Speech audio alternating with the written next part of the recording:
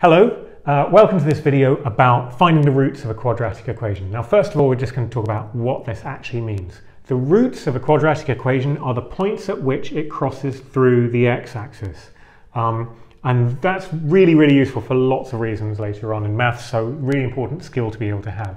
You can find it by drawing a perfectly accurate graph, but that's hard. It's much easier in most cases to factorize a quadratic and make it equal to zero. So you say, here's our quadratic x squared plus 2x minus 8. If we can factorize it, x plus 4, x minus 2, and make it equal to zero, then the solution of this is the answer to the roots. So this is the tricky bit, or the interesting in my mind bit.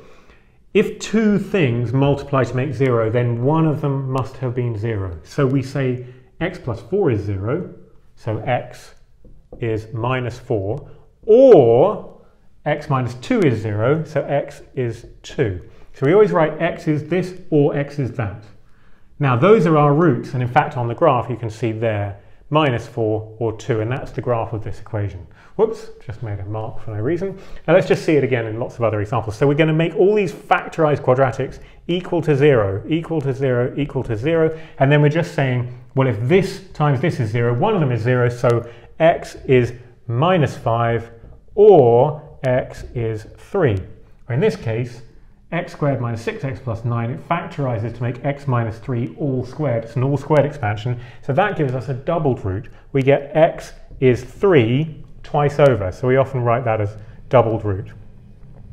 Um, then the last one is where I've got a difference of two squares. You've got an x squared minus 9, you recognize that as a square number, and you can see difference of two squares, x plus 3, x minus 3.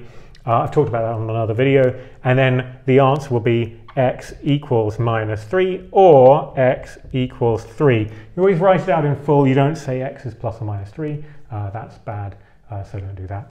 Um, so hope that was helpful. Thanks very much for watching.